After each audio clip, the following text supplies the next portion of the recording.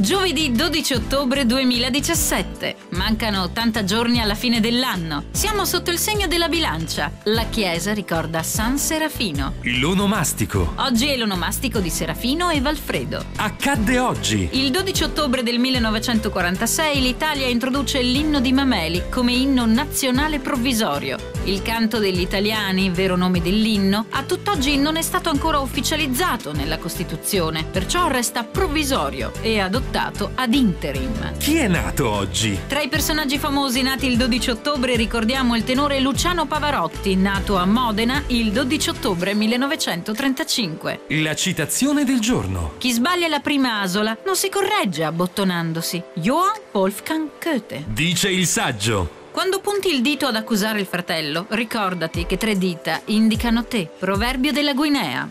La parola preziosa. La parola di oggi è melomane. Molti sono appassionati di musica, ma se la ascolti 16 ore al giorno c'è una buona possibilità che tu sia un melomane.